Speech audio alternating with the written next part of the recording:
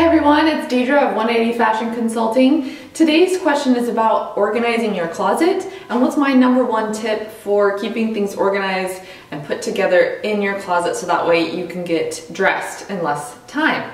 Well, my number one tip is to invest in some nice hangers. These ones are the felted or velvet hangers. You can find them in this style or the kind that have the bar straight across the bottom. But these are great for keeping all your tops, all your blouses, all your dresses on the hanger without any sort of stretching to the fabric or pulling or snagging and that way everything is just really easy to find and not only that the black or whatever color you choose just looks nice when it all matches in your closet.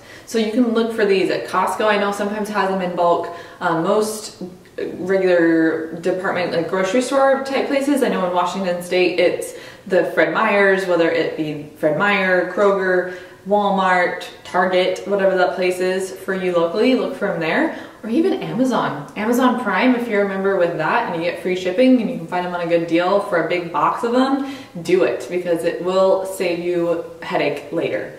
That's my last tip for organizing your closet. For more of these videos and to stay tuned, go to the blog 180consult.com. And if you have your own question, leave it in the comments and I'll answer it directly for you. Thanks, have a good day.